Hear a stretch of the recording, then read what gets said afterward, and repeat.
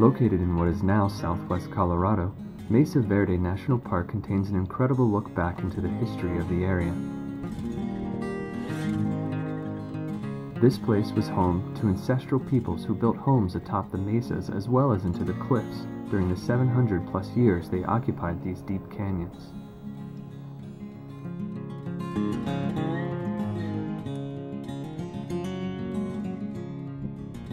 Created by the erosion of sandstone deposits, the canyons lie between 6,000 and nearly 8,600 feet, or about 1,800 to 2,600 meters in elevation.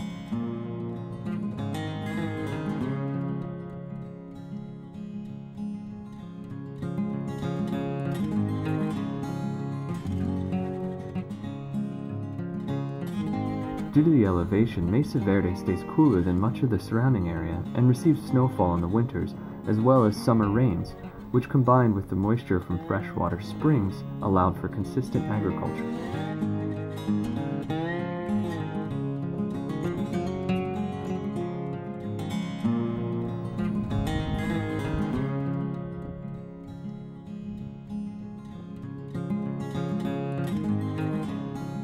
Corn, beans, squash, and gourds were common crops that supported a population that grew into the tens of thousands during the 13th century, but by the 14th century the area was all but uninhabited.